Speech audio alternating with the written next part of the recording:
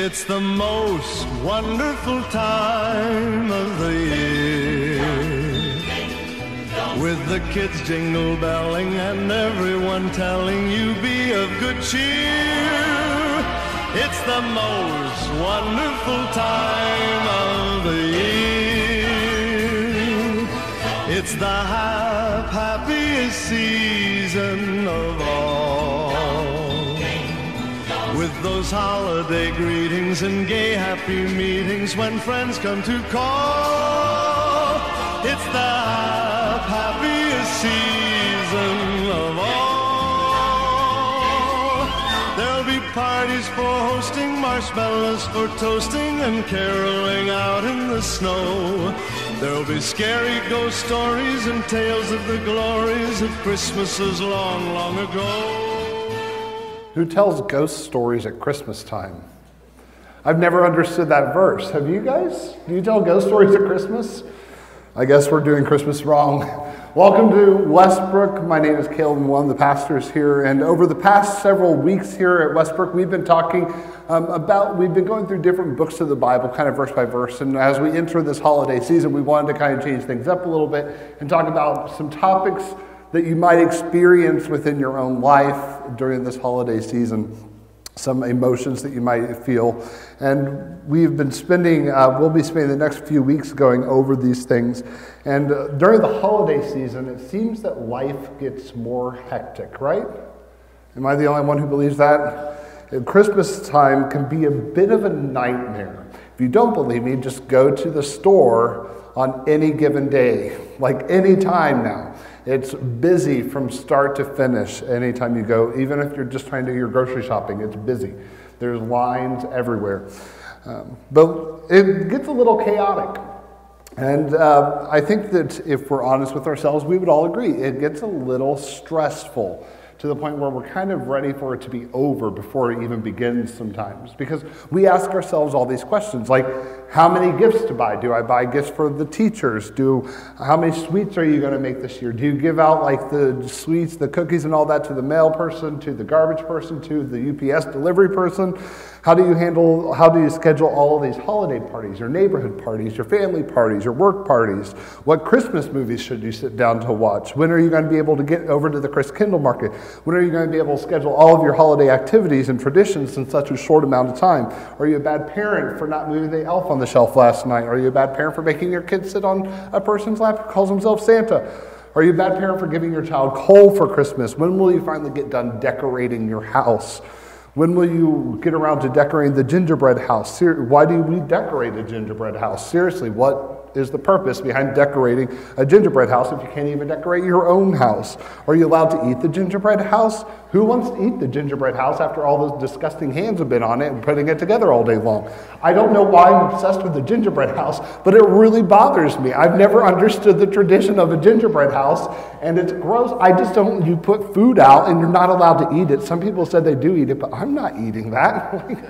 That's that's what goes through my head at Christmas time. And on top of that, if you are a parent, the school decides to let their, the kids out for the next three weeks and it snows and they're stuck indoors all day long. Merry Christmas. It's, it's a chaotic time, enough to the point when at the end of the, of the holiday season, you sit down on the couch and you're like, finally, some peace and quiet, right? You're like, Phew, it's all over. And then you're like waiting for it for next year. You're like, I can't wait till next year, but then all of it cycles back around, all this, all this hectic nature. There are, there are articles written on how to survive the hectic holidays. If you Google like stressful holidays, it's, there are so many articles and tips and ways to talk to your family at the Christmas time so that you don't get into fights and arguments, like ways to schedule all these fun activities. It's crazy. It is so crazy. Heartburn increases by like 88% during the holiday season simply because we overeat and overindulge on all this food that's terrible for us. But we tell ourselves, we got sweatshirts for the next few months, so it's all good. We can do whatever we want. Um, and so it's just a crazy time. And if the angel showed up to us and said, Do not fear, we would stop the angel and say, Look at my calendar and tell me not to fear. It is a crazy, crazy season. And Christmas time, though, is usually word, a time that we talk about the word peace, right? It's all over our Christmas songs. I heard the bells on Christmas Day, their old familiar carols play, and mild and sweet their songs repeat of peace on earth, goodwill toward men. Silent night, holy night, all is calm, all is bright. Round young virgin, mother and child, holy infant, so tender and mild, sleep in heavenly peace. Let there be peace on earth, and let it begin with me. Let there be peace on earth, the peace that was meant to be. Said the king to the people everywhere, Listen to what I say. Pray for peace, people everywhere. Listen to what I say. Good Christian men rejoice with heart and soul and voice. Now you need not fear the grave. Peace, peace. Jesus Christ was born to save. I could go on and on, but hopefully you get the, you get the drift. It's, it's all over our Christmas music, too. It's all over our Christmas songs. This idea of peace, and it comes up during the holiday season. So, why is, why is it that the holiday season seems to be the least peaceful time for many of us in our lives? Why is it so crazy and busy? And why, at the end of the holiday season, do we think finally some peace and quiet? It's humorous to me that we have associated peace with the idea of the absence of noise and chaos, right? Peace, we think that peace is the absence of chaos. But that's not what peace is at all. It's, it's not the absence of something. Peace is, is proactively building something, is proactively creating something. So when you sit down at the end of the holiday season, you're like, finally some peace and quiet. It's not peace and quiet, it's just you've just removed all of the chaos. All the chaos is finished. And so what does it mean to have peace in our lives? What does it mean to have peace during this holiday season? And more importantly, what did it mean when the angel said that there was peace on earth on the day that Christ was born? What did that mean? If you have your Bibles, go ahead and turn to Luke 2 1 through 20. It'll also be on the screen. This is a passage that you'll hear all throughout the Christmas season because Charlie Brown Christmas special is like on repeat all the time. So if you, um, it's a fairly, fairly uh, familiar passage, though. Let's, let's go ahead and read it. At that time, the Roman Emperor Augustus decreed that a census should be taken throughout the Roman Empire. This was the first census taken when Quirinius was the governor of Syria.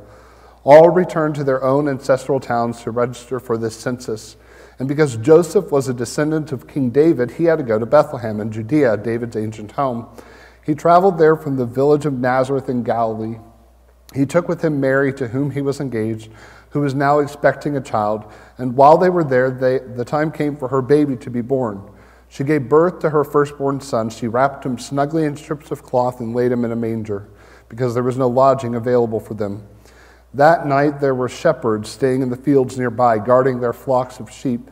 Suddenly an angel of the Lord appeared among them, and the radiance of the Lord's glory surrounded them. They were terrified, but the angel reassured them. Don't be afraid, he said. I bring you good news that will bring great joy to all people. The Savior, yes, the Messiah, the Lord, has been born today in Bethlehem, the city of David, and you will recognize him by this sign. You will find a baby wrapped snugly in strips of cloth lying in a manger. Suddenly, the angel was joined by a vast host of others, the armies of heaven, praising God and saying, Glory to God in the highest heaven, and peace on earth to those with whom God is pleased. When the angels had returned to heaven, the shepherds said to each other, Let's go to Bethlehem. Let's see this thing that has happened, which the Lord has told us about. They hurried to the village and found the shep- and the shepherds. They hurried to the village and found Mary and Joseph, and there was the baby lying in the manger. After seeing him, the shepherds told everyone what had happened and what the angel had said to them about this child. All who heard the shepherd's story were astonished, but Mary kept all these things in heart in her heart and thought about them often. The shepherds went back to their flocks, glorifying and praising God for all they had heard and seen. It was just as the angel had told them. Most of the time, we read this passage and we're like, ah, it's pretty, right? Like, it's a nice little, it's precious. You think about setting up your nativity scene, going to go home and put up that, that nice little nativity scene, all those, maybe you have a precious moments nativity scene, and you're like, oh, put everything there is so so cute and pretty. Um, my, my mom always waits until the last minute to put it up. I don't know about you guys, but I, I always move the wise men out of the nativity scene because they're not there for a while. So I just move them into a different room and tell mom that they're traveling. They're making their way. They'll be there. They'll be there soon. Fortunately, I've never seen a birth, but I've heard stories about births. I don't think it's peaceful, from what I understand. I don't think that anyone would describe the birth as peaceful. If any of you have given birth, would you describe it as a peaceful event? No one? All right. That's what I thought. I thought I was right on that one.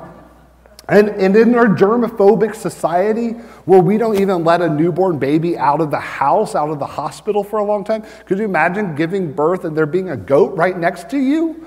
We would not, we would not think that that was a great environment for a baby to be born, right? Be like, I need to sterilize everything. It's, it seems that it's not a, not a really peaceful area for a baby to be born in. Not only that, King Herod was like slaughtering all the babies because he had heard about this Jesus. That's not a peaceful event. Augustus, who we heard about at the beginning of the passage, he's an interesting guy too because he, he pretty much massacred a whole people group and um, called himself the Lord and Savior. He called himself the Messiah. He called himself the Son of God. So I don't think that the political atmosphere was peaceful at that time either. So when we think about peaceful and you hear the song Silent Night and you're like, oh, that's precious, except for the fact that the politics at that time was pretty devastating. The birth itself was not like this just peaceful event, and, and it was chaotic. Merry Christmas. You should hear my sermon on joy. Um, but it is a really weird thing that we've done to the story of Christmas, right?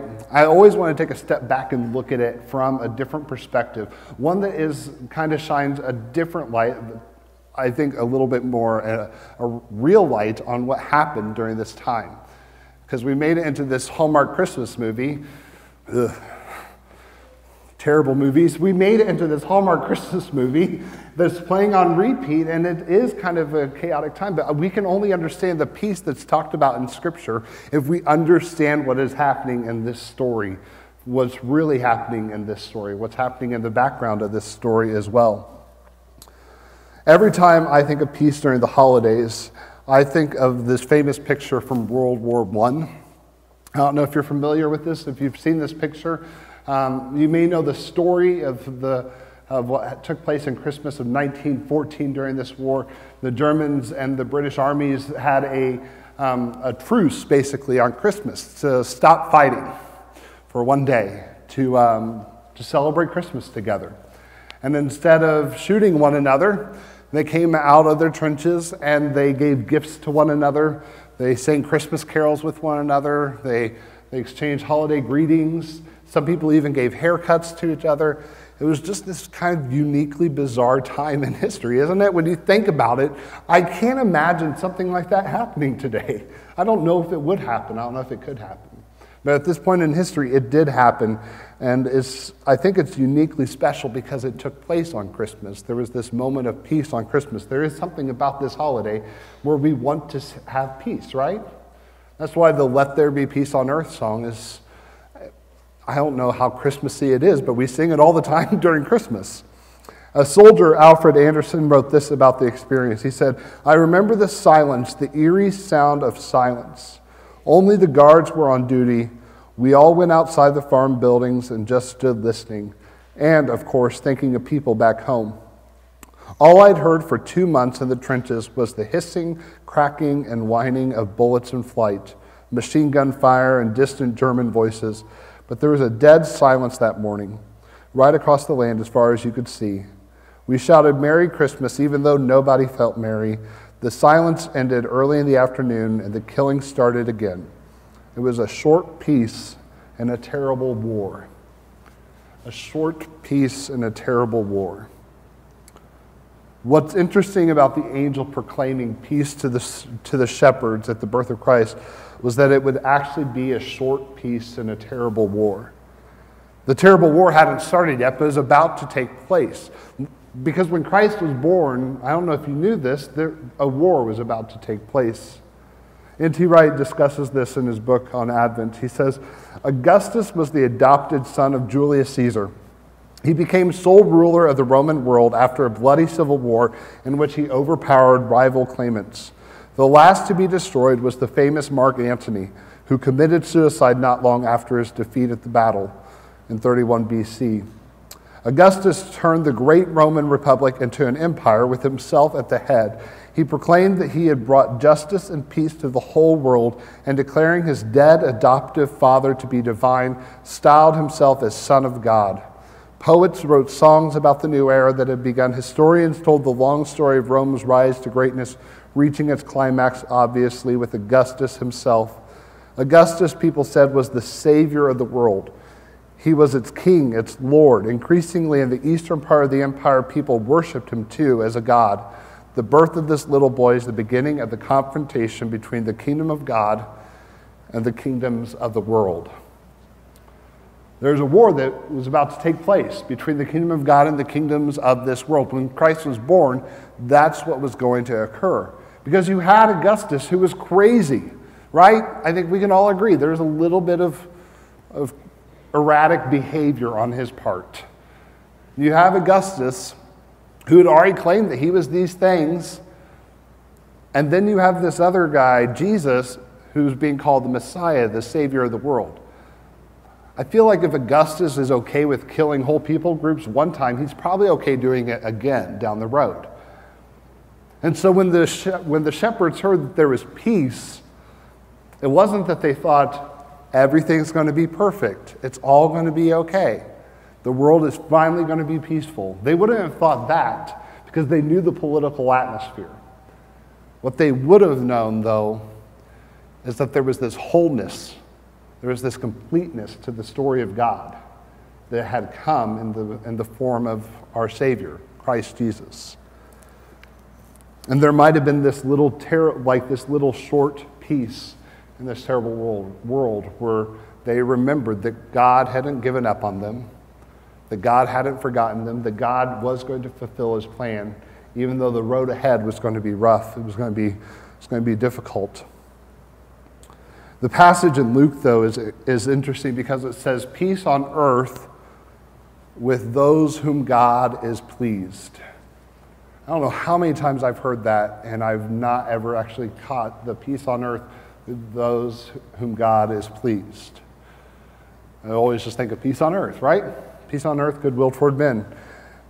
There's a condition to the peace that we find in Scripture. It is meant for those with whom God is pleased.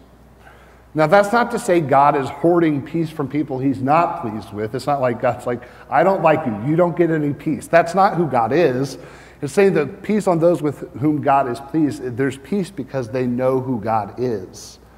As cliche as that saying is, you know, no peace or no Christ, no peace or something like that, um, as cliche as that saying is, there is a little bit of truth to it. That those who knew God knew what that peace was. And it wasn't that everyone was getting along, sitting around in a circle and singing kumbaya. It was that there was this wholeness, this completeness to their lives. Peace was something that was proactive. It was something that wasn't the removal of chaos, it was something that they built, it was something that was completed. It wasn't something that magically appeared. God didn't just snap his fingers and make everything right. I love what N.T. Wright says about Christmas. He says, Christmas isn't about an escape from the world of politics and economics, of empires and taxes and bloodthirsty wars.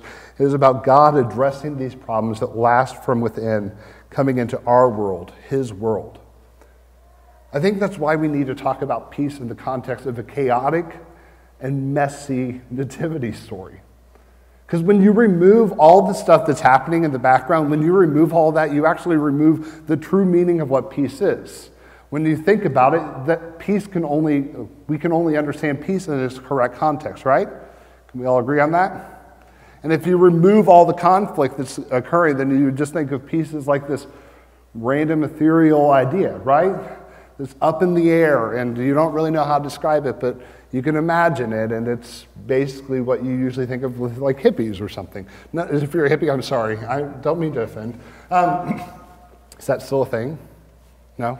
Okay, good. Um, but it isn't about that. It's about something deeper than that.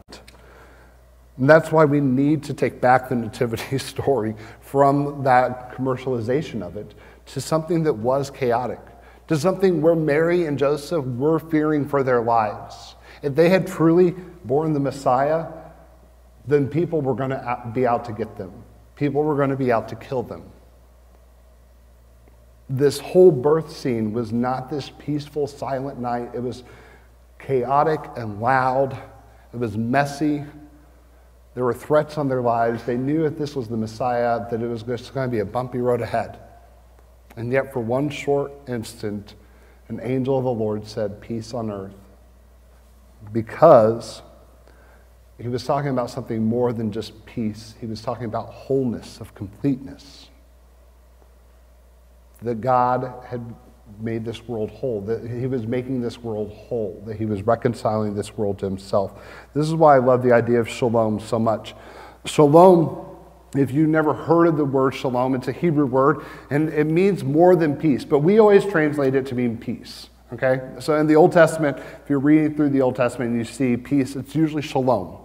And this, but it's something deeper, it's something more robust than just peace. It means wholeness and completeness. It means basically like when you think of God, that's what shalom is. You're supposed to be making things whole, making things right. It's something that during the holidays that we need to kind of think about a little bit more of this idea of wholeness and completeness. It's not the absence of violence and chaos.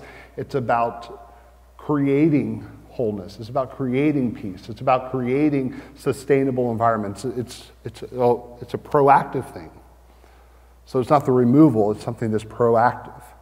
And just as Christ brought to bring wholeness to this world, to our lives, that is our call as Christ followers.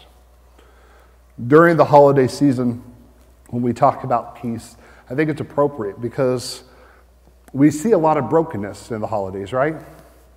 Maybe you're looking at your table at Christmas time and, and there are people that aren't there that usually would be there because of brokenness.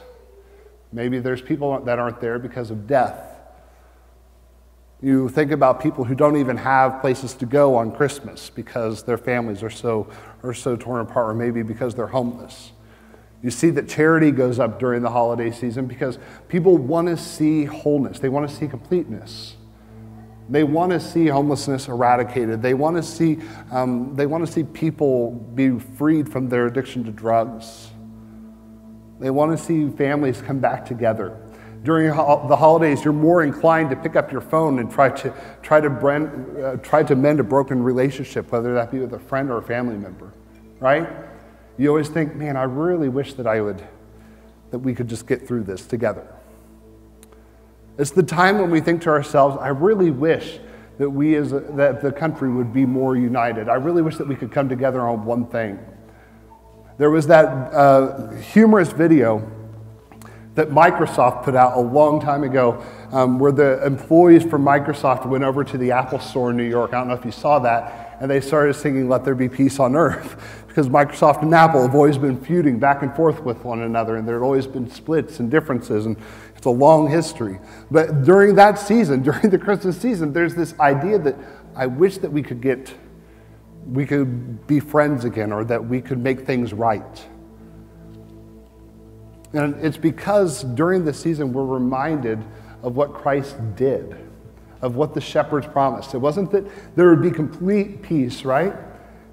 But we could see a short, a short little glimpse of peace in a terrible war. And we long to see that because we long to see wholeness. As much as we might hold a grudge against people, there's a little bit of us, especially during the holiday seasons, that want to see that grudge put to rest. And I think that that's why during this time of year we do talk about peace more often. I also think it's because it shows us what peace is. Because when Christ was born and it was declared to the shepherds that there was peace on earth, it was saying this world is going to be chaotic for all time until the end of time. But you can see in this one little instant that that there's wholeness, that God has fulfilled his plan to redeem all of mankind. In this one baby, God has fulfilled his plan, God has fulfilled his promise. He has not forgotten about us, he is with us until the very end. And they saw that in that baby in the midst of craziness. They saw that in that baby. And we're supposed to create that for other people as well. We're supposed to create that environment to show people that wholeness, to show people that shalom. And so, my challenge for you this holiday season is, is to have an, have an attitude of shalom. I love what Walter Brueggemann says about it. He says, It bears tremendous freight, the freight of a dream of God that resists all of our tendencies to, to division, hostility, fear, drivenness, and misery. Shalom is the substance of the biblical vision of one community embracing all creation. That's what we're supposed to build. We're supposed to build that biblical vision of one community embracing all of creation, to redeem that, to show that redemption to the world. So when you talk about peace, it's not about removing violence, it's not about removing chaos, it's about creating that one biblical community that embraces all of creation. Instead of constantly saying, if we only, if we didn't have this person, if we didn't have this person, say, what can we do to build this? What can we do to create this? The Bible is all about creation, right? It's all about creating things. And that's what shalom is. That's what peace is. It's about creating this world, creating this world that reflects the kingdom of God. And for that one instant, the, the shepherds saw what the kingdom of God was ultimately going to look like. They saw a little glimpse of what the kingdom of God was. That's why we need to be bearers of peace in this world. We need to show people for maybe one little second of what the kingdom of God looks like. And it's whole, it's complete, right? So my challenge to you this Christmas season is, is to build that shalom into your, into your holiday plans whenever they get crazy, busy, and hectic, to think about how you're showing others around you what the kingdom of God will ultimately look like. Let's pray. Heavenly Father, thank you for who you are and what you are doing in our lives, Lord. May we remember that when your Son, our Savior, was born, that this promise of peace was something that wasn't full, but it was something that was still there May we live this out in our lives. May we understand that peace exists within chaos and that God, we are called to create it and we are called to create the shalom in this world. We love you and praise your name. Amen.